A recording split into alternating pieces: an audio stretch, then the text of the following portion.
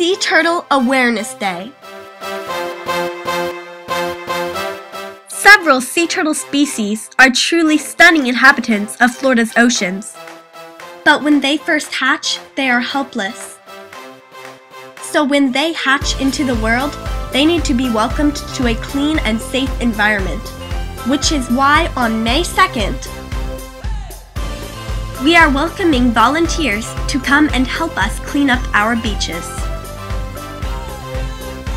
Sea Turtle Awareness Day is a crucial event that allows us to prepare for the nesting and hatching of several endangered sea turtle species.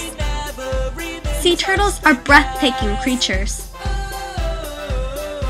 and they grow up to be incredibly majestic. So if you want to help your community, then mark your calendars for May 2nd and get ready to clean.